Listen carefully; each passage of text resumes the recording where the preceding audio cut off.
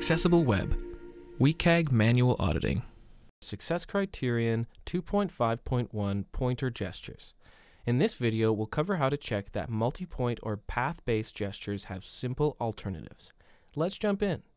2.5.1 ensures that functionality operated by complex gestures like pinch to zoom or swipe paths can also be operated with a simple single pointer input, unless the gesture is essential to the functionality. To test for pointer gestures, analyze the page for any interactions that rely on multi-point gestures like pinch to zoom or path-based gestures like drawing shapes or dragging sliders.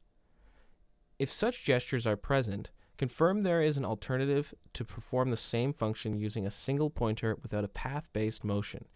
Examples include plus and minus buttons for zooming instead of pinch to zoom, increment and decrement buttons for sliders instead of drag movements. If a gesture is essential to the functionality, for example, a drawing app requiring freehand drawing, it is exempt. If no alternative exists for non-essential gestures, add a failure in RAMP.